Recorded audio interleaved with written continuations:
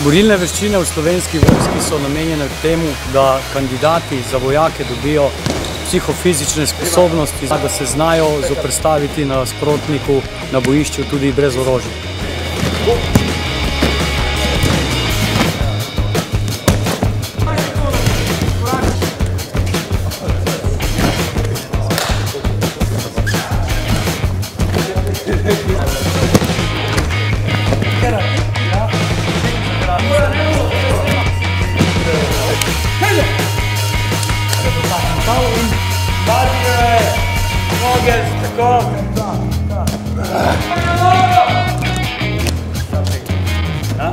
Borilne veščine v slovenski vojski so sestavljene iz različnih kombinacij in tehnik borilnih veščin oziroma stilov, ki jih uporabljajo drugot po svetu, kot so karate, jiu-jitsu, akido, krav maga in ostale borilne veščine.